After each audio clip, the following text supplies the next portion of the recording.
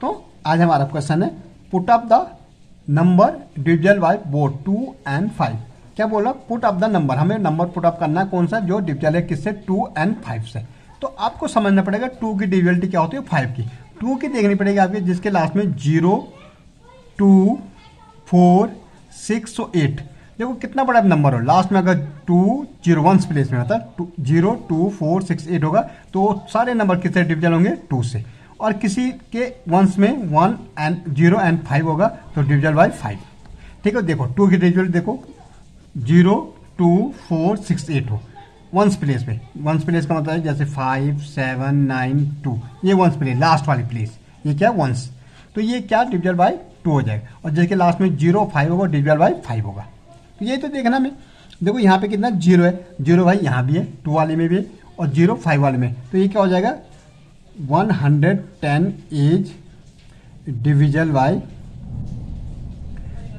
both two and five क्यों होगा to से? क्योंकि लास्ट में कितना है? ज़ीरो वन प्लेस पे क्या है? ज़ीरो है। और फाइव से क्यों होगा? क्योंकि इसकी डिविजिबिलिटी क्या होती है? लास्ट में क्या होना चाहिए? ज़ीरो फाइव यहाँ क्या? ज़ीरो है।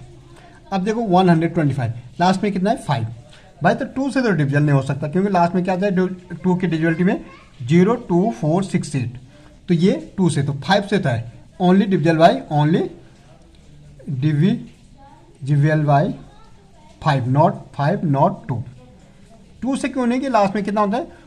Zero two four six eight यहाँ तो फाइव है। फाइव से फाइव से उसमें आते टेबल में। यहाँ क्या लास्ट में? टू है। तो इसमें तो टू से डिविजल हो रहा है, क्योंकि लास्ट में टू है। लेकिन फाइव वाले में तो नहीं हो रहा। तो नॉट डिविजल बाई फाइव से टू से डिविजल है। टू से only divisible by two not five okay अब यहाँ लास्ट में फिर फाइव है। तो क्या आएगा? Not divisible by two not divisible by two five से तो है। फाइव के लास्ट में क्या है फाइव है तो फाइव से डिविजल हो जाएगा, लेकिन टू से नहीं होगा।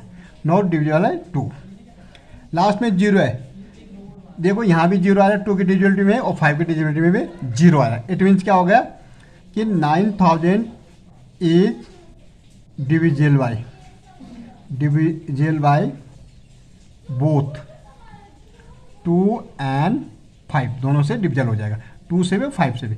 अब यहाँ देखो वंस प्लेस में कितना है? टू टू से तो डिविजल आ रहा है, क्योंकि टू की टेबल में आ रहा है, लेकिन फाइव से नहीं होगा। तो only divisible by two not five divisible by two and not by five ठीक है टू से तो हो जाएगा लास्ट में टू है, लेकिन फाइव से नहीं होगा।